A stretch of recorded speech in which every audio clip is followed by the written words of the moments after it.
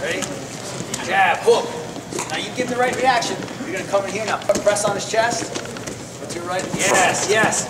Man, he even covered a lot of ground there. Really good. Give him two.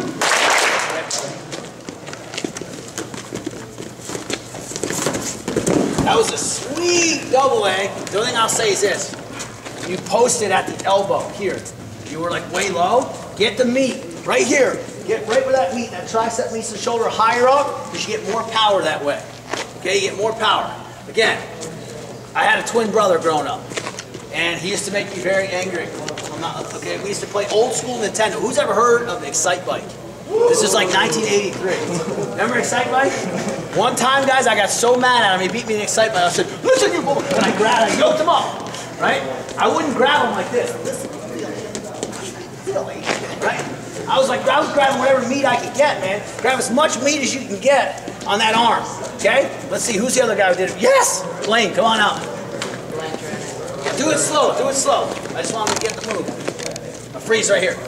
See this, guys? We're gonna connect right here, right at the meat, pull it in and post it. Now go.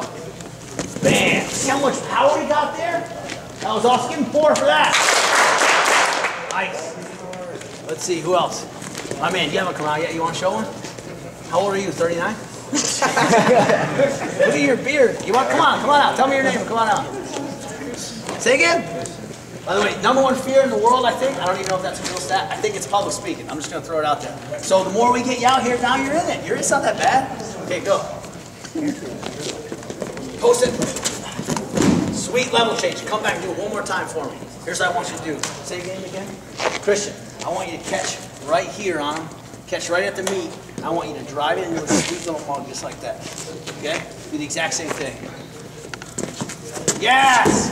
Good job. Give him two. All right, moving on. Next one. Aaron.